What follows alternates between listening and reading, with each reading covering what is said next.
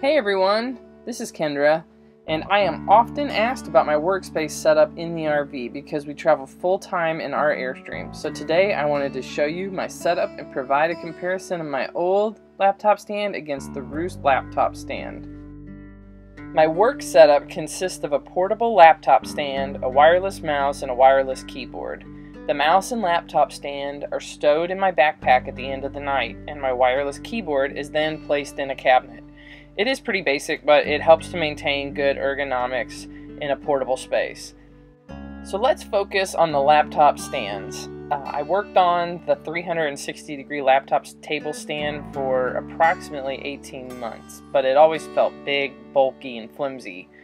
Um, when we first launched full time in our Airstream, we wanted flexibility to change our setup as we learned what worked best for us. So I didn't want to purchase too costly of a laptop stand if my setup needed to be modified.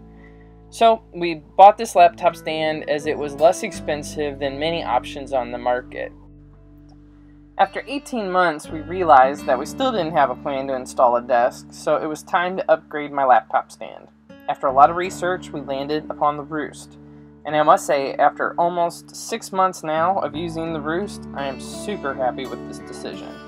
The Roost is about twice the price at $75, but about a tenth of the size. The build is sturdy and it securely holds my laptop in place from tipping too. The Roost fits in my backpack so I can easily take it with me outside the trailer with which I could not with my old stand. Finally, the Roost takes approximately 2 seconds to set up versus the 360 laptop, which required multiple clickings of the various degrees and making sure you didn't accidentally click the angle off by a few degrees, which would make it wobbly. Although I think the Roost is better in all categories, the one aspect that I miss from my other laptop stand is the ability to have a better standing desk position. I have found that I can set up the Roost on our taller kitchen sink counter as a standing option, but it is limited to this space.